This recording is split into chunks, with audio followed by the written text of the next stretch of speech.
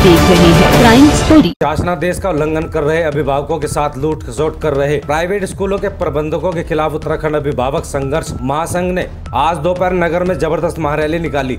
प्रदर्शनकारियों ने शिक्षा के नाम पर की जा रही लूट खसोट पर नकल कसने के लिए उत्तराखंड के शिक्षा मंत्री से फ़ीस एक्ट लागू कराए जाने की मांग की है। बुधवार के दोपहर शिक्षा में व्यवसायीकरण पर नकल कसने की मांग को लेकर बड़ी संख्या में शहर के विभिन्न राजनीतिक, सामाजिक व्यापारिक संगठनों से जुड़े प्रतिनिधियों के साथ साथ अभिभावकों ने महारैली में शिरकत कर कॉन्वेंट स्कूलों की तर्ज पर शहर में चल रहे प्राइवेट स्कूलों के खिलाफ मोर्चा खोल दिया। अपने पूर्व घोषित कार्यक्रम के अनुसार महासंघ से जुड़े तमाम कार्यकर्ता आज दोपहर निगम प्रांगण में एकत्र हुए। धीरे धीरे बड़ी संख्या में अभिभावकों की भीड़ भी मौके पर जुटने लगी। रैली के पश्चात उप के माध्यम से प्रदेश के शिक्षा मंत्री को एक ज्ञापन प्रेषित किया गया। ज्ञापन में शासन आदेश का उल्लंघन कर रहे शहर के विभिन्न विद्यालयों की सूची के साथ शिक्षा के व्यवसायीकरण पर नकल के लिए फ़ीस एक्ट बनाए जाने की मांग की है। क्राइम स्टोरी के लिए उत्तराखंड के ऋषिकेश से सूरी की रिपोर्ट। कौशन मनी के नाम पर बहुत सारी सिक्योरिटी मनी लेते हैं।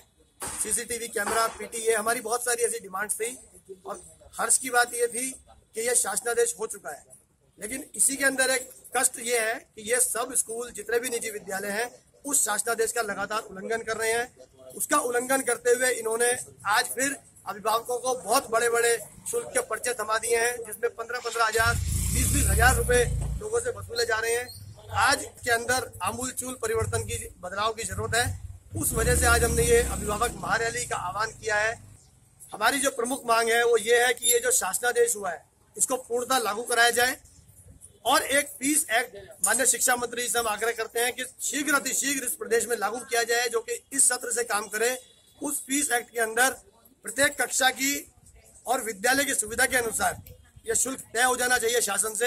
ऐसा नहीं, हम बर्दाश्त करेंगे कि 50 गज के अंदर एक विद्यालय चल रहा है और वो पंद्रह हज़ार रूपए एक एलकेजी कक्षा के लिए या प्रथम कक्षा के लिए वसूल रहा है।